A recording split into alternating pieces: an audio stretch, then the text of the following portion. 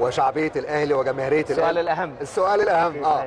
آه، شوف طبعا آه، مثل ما تم الإيضاح سابقا وأنا كنت طبعا مع الإخوان آه، مستشار حسام والأخ محمد الجزار والأستاذ أسامة جميع الإخوان العاملين في مصر كنا في تواصل مباشر معهم بالإضافة إلى التواصل مع النادي الأهلي من خلال ال- اللجنة المختصة للتنسيق وكذلك هناك تنسيق ما بين النادي الأهلي والفيفا التذاكر هي تقع تحت إدارة آه، الاتحاد الدولي فيفا ففي تنسيق مباشر بخصوص الكوتات أو الكميات المخصصة لكل فريق. تم طرح التذاكر من فترة طويلة اعتقد المباراة تقريبا حاليا إحنا نتكلم في ليلة المباراة على تذاكر النهائية. إن شاء الله. آه، النادي الأهلي آه، اعتقد استلم التذاكر الخاصة فيه. الروابط أيضا كذلك تم توزيع التذاكر الخاصة فيهم. عملية الشراء اللي قاعدين نشوفها بس للتوضيح ليست فقط من جماهير الأهلي. للعلم ترى جماهير الأهلي لها شعبية كبيرة في قطر ودول الخليج ففي إقبال كبير على التذاكر.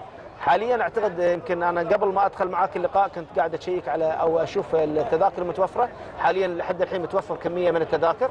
نتمنى اللي ما حصل على تذاكره يسارع في الحصول عليها يعيش التجربة لأنه ممكن يكون مباراة وتأهل حلم للنادي الأهلي يتواجد معنا يعني لسه في مساحة؟ في مساحة أيضا. آه. أيضا تم طرح اليوم عدد من التذاكر آه، من قبل الفيفا متواجدة حتى الآن.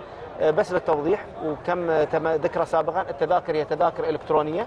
راح تكون موجودة على التطبيق الخاص في الفيفا.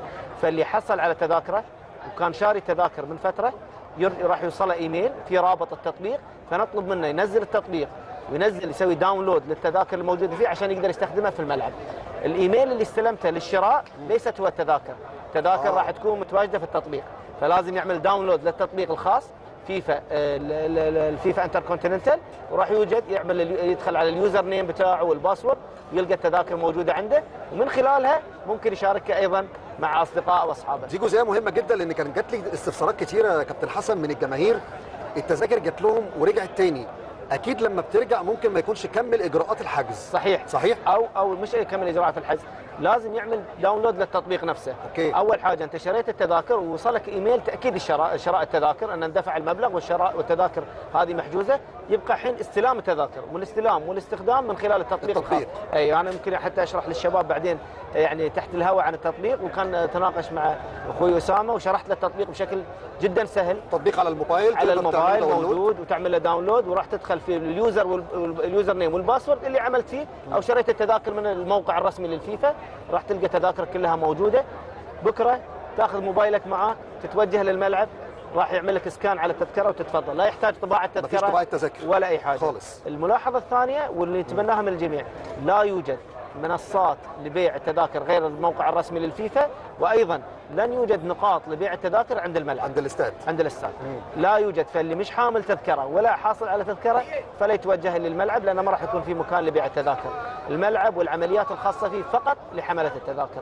فنتمنى من الجميع نزل التطبيق اعمل download للتذاكر بتاعتك وزعها إذا كان عندك أصحابك أصدقائك أهلك تقدر تسوي لها share كل فرد ليه كم تذكرة؟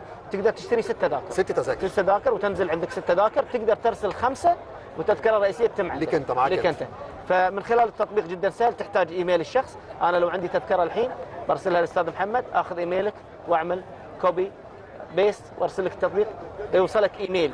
في رابط التطبيق تنزله تعمل username و password تلقى التذكره موجودة عندك تعملها accept و download تلقى التذكرة موجودة. موضوع. بسيط وسهل. جدا بسيط. ولما التعامل معاه جدا بسيط وكان هو مستخدم خلال كأس العالم.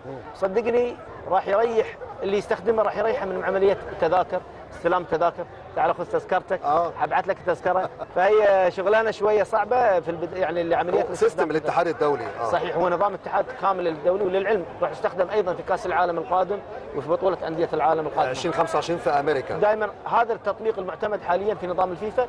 وأعتقد صراحة من وجهة نظري ومن خلال عملي في مجال كرة القدم أتوقع خلال الفترة القادمة راح نشوف اختفاء للتذاكر الورقية. كان لكم